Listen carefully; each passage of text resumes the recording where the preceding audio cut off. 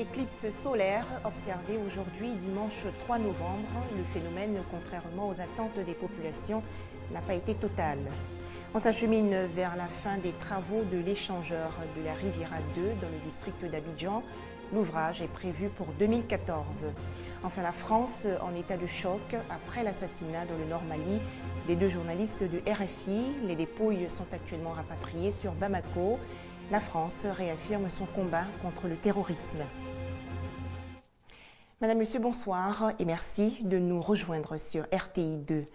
L'éclipse solaire tant attendue a été observée aujourd'hui. Selon les experts, il s'agit d'une éclipse hybride, c'est-à-dire à la fois totale et annulaire. Plus concrètement, en certains endroits, à l'exemple du Gabon, le soleil était entièrement caché par la lune. Dans d'autres contrées, par contre, on a vu comme un anneau de lumière autour du disque noir de la lune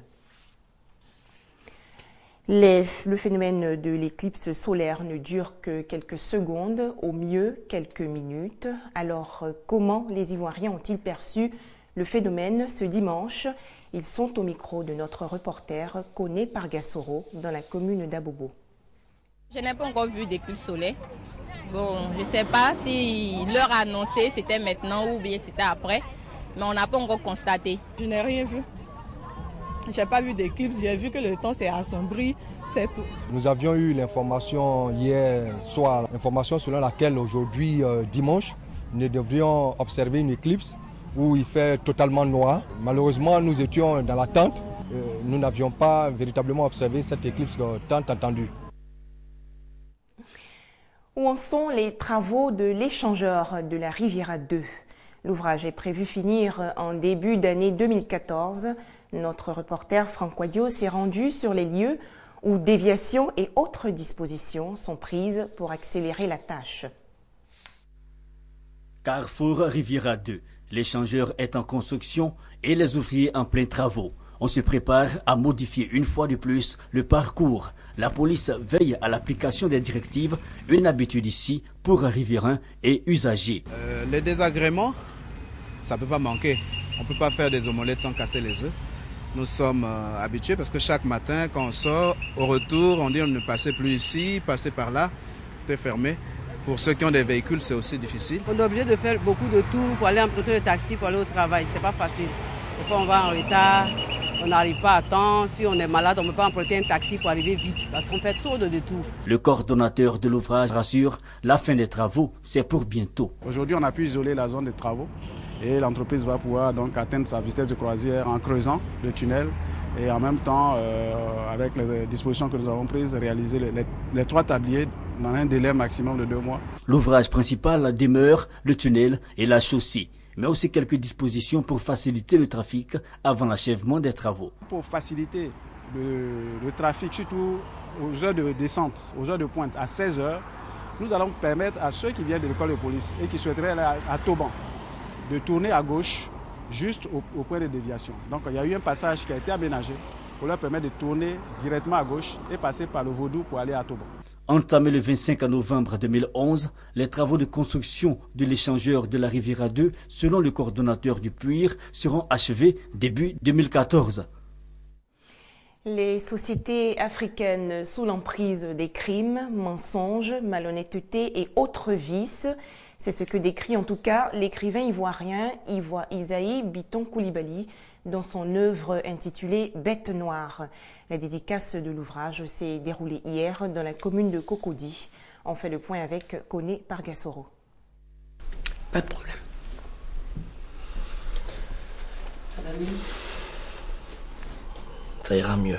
Extrême Obsession. C'est le téléfilm diffusé par la RTI, inspiré du roman Bête Noire de l'écrivain Esaïe Biton Koulibaly. Aujourd'hui, je vis un peu mieux encore hein, le fait qu'il m'ait donné cette chance de participer à ce film parce que euh, on fait un film et on continue de faire ce film en participant à une dédicace d'une telle œuvre. Il n'y a pas plus, il a pas plus grande joie que ça les raccourcis, la facilité, le pouvoir par la force, des comportements mis à nu par l'écrivain dans son œuvre. On montre quelqu'un qui est ambitieux, qui veut devenir puissant, qui veut devenir riche et qui passe par la politique. Le conseil que je peux donner, c'est de voir la fin du livre.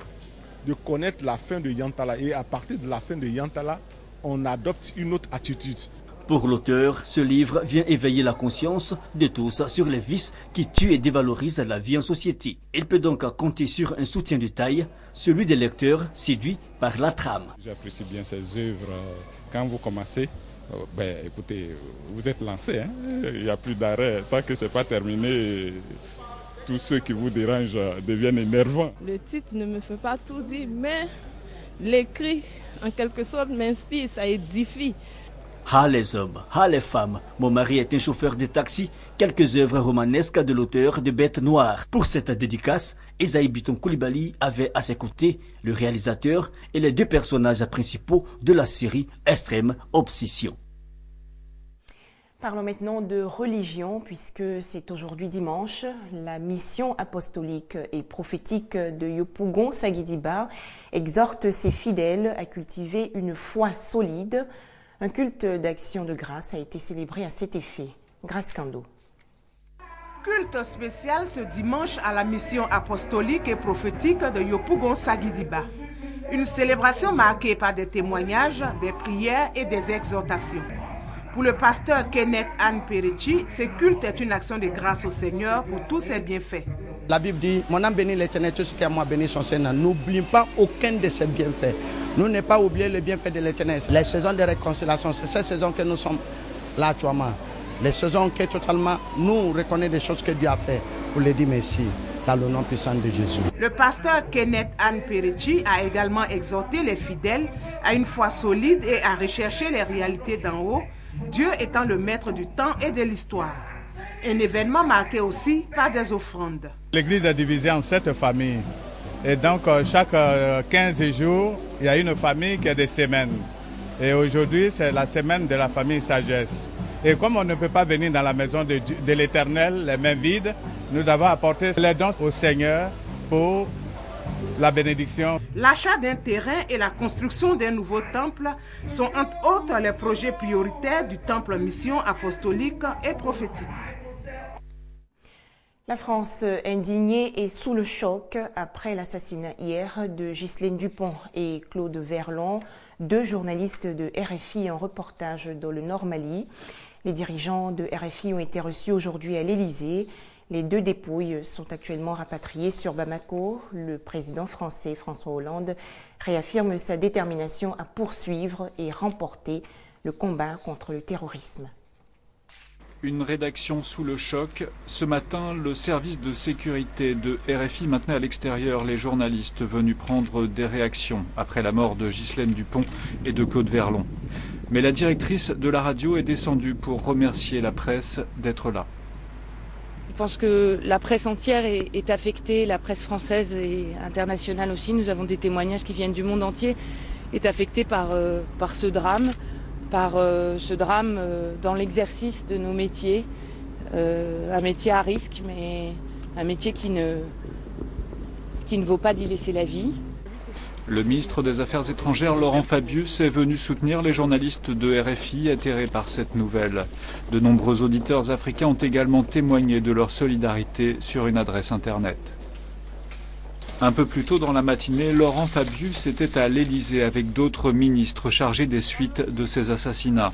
Le président français a donné des instructions pour retrouver les responsables de ce crime, qualifié d'abject et de révoltant. C'est un double crime. C'est un crime contre des personnes qui, je le répète, ont été froidement assassinées dans des conditions odieuses. Mais c'est aussi un crime contre la liberté d'informer et d'être informé. Le président François Hollande a également reçu les responsables de RFI qui ne veulent pas baisser les bras face à la barbarie. L'émission spéciale en préparation au Mali a été annulée, mais d'autres journalistes restent sur place pour informer. Si nous n'allons plus sur le terrain, si de loin on se contente de dépêches, alors où est le, le métier? Alors oui, il faut parfois prendre des risques. Sincèrement, ni Ghislaine ni Claude n'étaient des têtes brûlées. Ils n'ont pris aucun risque inconsidéré. Ghislaine Dupont, 57 ans, et Claude Verlon, 55 ans, étaient deux journalistes extrêmement aguerris, spécialistes de l'Afrique et des zones de conflit. Leur assassinat n'a pas été pour l'instant revendiqué. Le ministre français des Affaires étrangères, Laurent Fabius, annonce aujourd'hui le renforcement de la sécurité dans la zone de Kidal. Une enquête est également ouverte pour établir les circonstances exactes de la mort des deux journalistes. Au Yémen, de sanglants affrontements opposent depuis plusieurs jours des rebelles zaïdites chiites aux fondamentalistes sunnites dans le nord du pays. Bilan au moins 11 morts et 7 blessés. Des milliers de salafistes sunnites ont manifesté samedi à Sanaa au Yémen en soutien aux fondamentalistes sunnites attaqués selon eux par les rebelles chiites zaïdistes. Des affrontements qui ont fait au total 58 morts. Le zaïdisme est la branche du chiisme majoritaire dans le nord du Yémen, alors qu'à l'échelle nationale, les sunnites sont les plus nombreux. Un cessez-le-feu a été conclu entre les deux parties après trois jours de combats meurtriers.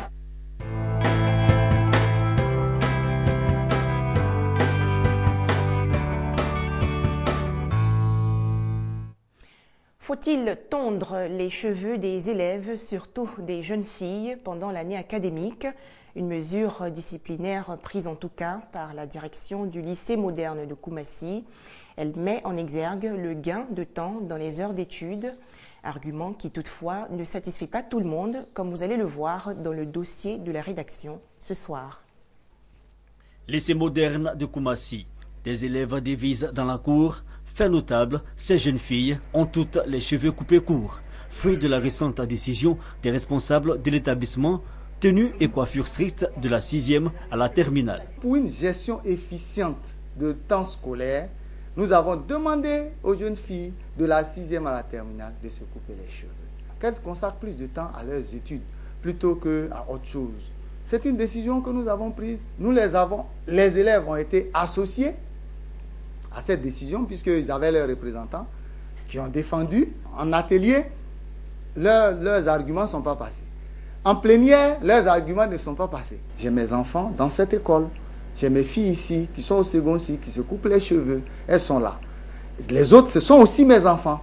Donc, j'éduque. Je suis un père, moi j'éduque des enfants. Une décision qui a son bon côté selon les initiateurs. Elle permet à l'élève de perdre moins de temps à soigner son apparence. L'objectif à terme, l'amélioration des résultats scolaires en Grenoble, mais réaction tout de même mitigée chez les jeunes filles. Je ne suis pas d'accord avec la décision de l'administration parce que ça ne vient pas de Mme Kandia, ça vient de notre proviseur. Tout le monde n'est pas d'accord, donc ce n'est pas normal. Au moins, on peut comprendre que de la sixième à la troisième, on peut se coiffer.